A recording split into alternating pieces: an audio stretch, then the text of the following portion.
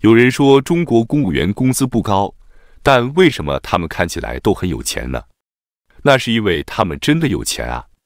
比如说开大会的时候，一般人都是一个茶杯，而有些人呢就能有两个杯子，别人是茶室直接往杯子里加水，而有些人呢是连杯子一起拿走，再换上新的杯子。据说茶杯的把手都是特制的，因为手指粗短，普通的茶杯把手不方便拿，这些茶杯的把手就设计成适合他的手型。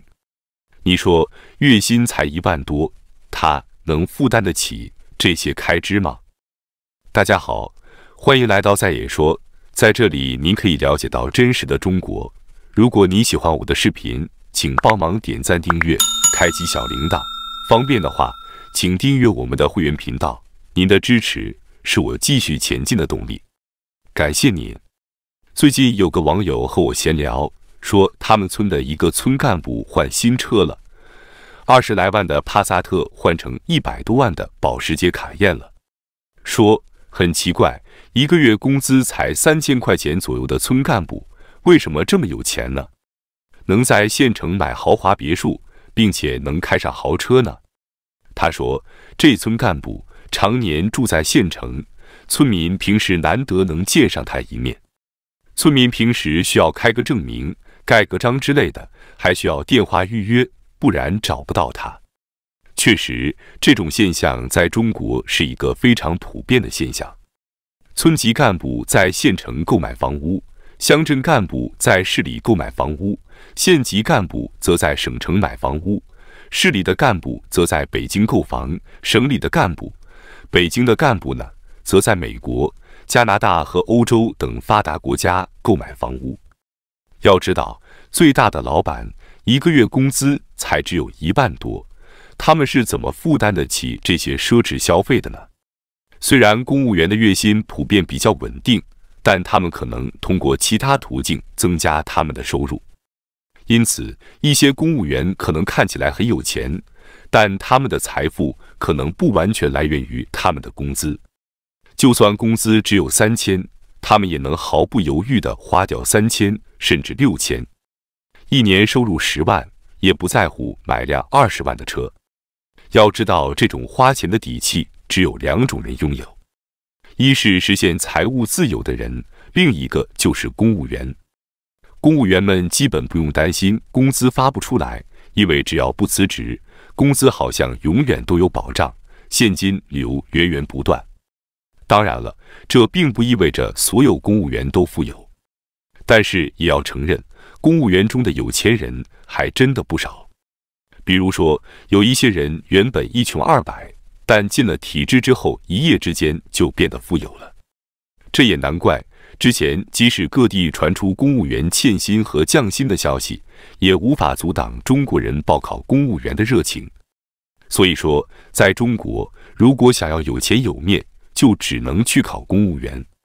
当然，进入体制。也不是那么容易的，你得有一定的背景和能力，要不然个人的简历就会像寄了一封空信一样。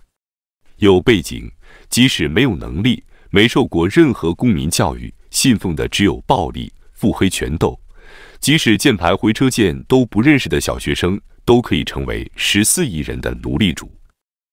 而对于那些没有关系、没有背景的公务员，即使他们进了体制内，生活也不尽如人意，每天上班就像参观豪车 party 一样，宝马、奔驰、霸道、保时捷、斯巴鲁、沃尔沃 X、捷豹、别克商务。然而，普通公务员只能远观而不能触及。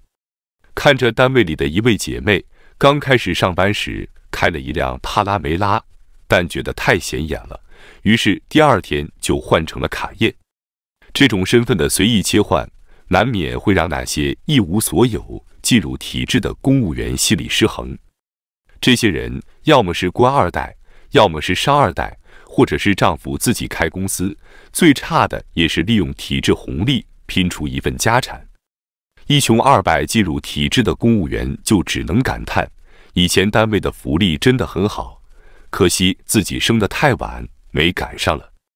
对于普通人而言，宇宙的尽头就是体制。特别是对于那些家境不好的女同学，她们可能会觉得自己没有什么能力，在毕业前都不知道自己该做什么，于是就会选择考公务员，认为这是他们最好的出路。在这个信息为王的社会，家境不好的人可谓是信息贫困户，他们拼尽年轻，拼尽体力，拼尽脑力，却仍然难以立足。